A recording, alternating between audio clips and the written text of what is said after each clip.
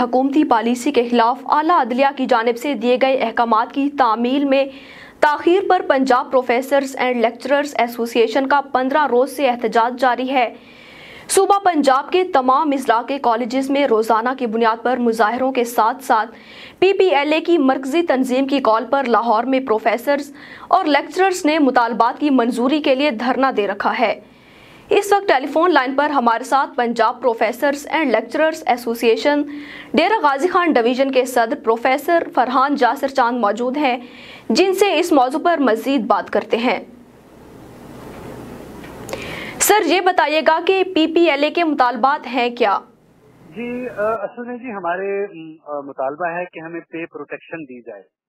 पे प्रोटेक्शन का मतलब ये है कि हमारे चार बैचेस हैं 2002, 2005, 2009 और 2012 में जो लोग भर्ती हुए थे वो कॉन्ट्रैक्ट पे भर्ती हुए थे।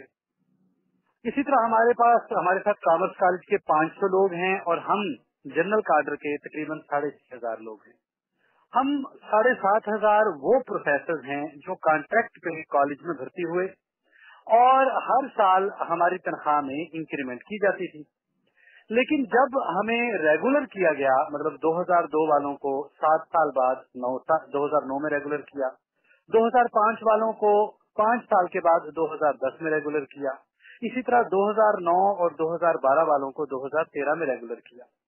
जब हमें रेगुलर किया गया तो हमारी जो पिछले पाँच साल या सात साल की जो साधना इंक्रीमेंट थी, जो हमें दी जाती थी और जो हमें रेगुलर करते वक्त हुकूमत ने ये हमें नोटिफिकेशन किया था कि ये सालाना इंक्रीमेंट हमारी तनख्वाह का हिस्सा ही रहेंगी।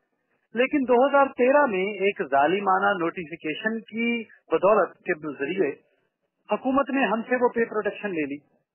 यानी कि आसान लफ्जों में, मेरी जॉब के सात साल और सात साल में मेरी तनख्वाह में जो इजाफा किया गया था, वो हुकूमत ने वापस ले लिया। हालाँकि सुप्रीम कोर्ट का ये ये वाज फैसला है कि किसी भी सरकारी मुलाजिम को दी जाने वाली मराहत वापस नहीं ली जाती।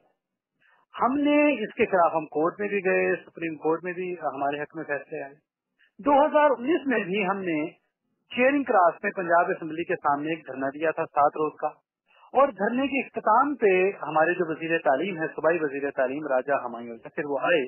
और उन्होंने मीडिया के सामने, पूरी पब्लिक के सामने ये तस्लीम किया था कि हमारे पे प्रोटेक्शन का मुतालबा एक हकीकी और असूली और जायज़ मुतालबा है और उन्होंने यकीन दहानी करवाई थी कि आप अपना धरना खत्म करें।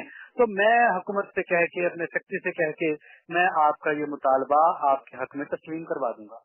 लेकिन उनका ये वादा हुकूमत के तकरीबन सारे के सारे बाकी वादों की तरह झूठा साबित हुआ और ये वादा एक लॉलीपॉप साबित हुआ। तीन साल के बाद हम दोबारा धरने पर आ गए हैं। अब हमने सिविल सेक्रेटेरिएट के सामने धरना दिया हुआ है। सात मार्च से हमारा धरना जारी है। आज हमारे धरने का मुसलसल पंद्रहवा रोज है। हम दिन के वक्त भी यहाँ रह रहे हैं, हम रात के वक्त भी यहाँ रह रहे हैं। लेकिन जो एक सबसे एक बेहिसी की बात है, एक बेशर्मी की बात है कि अभी तक हमसे किसी हुकूमत के नुमाइंदे ने बिल्कुल भी कोई रहा नहीं किया। जी। सर, ये बताइएगा कि मुलाकात या मुजाकरात का दोबारा कोई इम्कान है? देखिए, हम तो इसी मुलाकात के वादे पर जो है वो सड़क पर बैठे हैं कि हमसे हुकामे वाला जो है रबता करें। और दूसरी बात यह कि मतलब हम मुजाकरात मुजाकरात नहीं खेलना चाहते। हमारा वाहिद मुतालबा इस दफ़ा चीफ सेक्रेटरी से है कि वो हमारे हाथ में नोटिफिकेशन कर दें।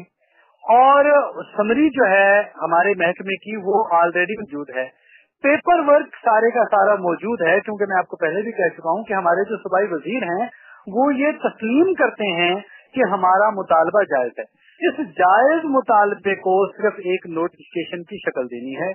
हमारा मुतालबा इतना है कि 2013 का जो हमारी पे प्रोटेक्शन खत्म करने का जो नोटिफिकेशन किया था, उसको मनसूख किया जाए। और जो 2009 का हमारी पे प्रोटेक्शन की आ, अमल दरामद का जो नोटिफिकेशन था उसको बहाल किया जाए। लेकिन अभी तक हमने हमसे किसी ने रबता नहीं अगर रबता किया भी है तो वो फाइनेंस सेक्रेटरी की सतह पे किया गया है। और हमें पता है कि ये जो सेक्रेटरी की सतह पर जो रबते होते हैं ये सिर्फ़ हुकूमत जो है वो अपना और हमारा वक्त जाया कर रही होती है।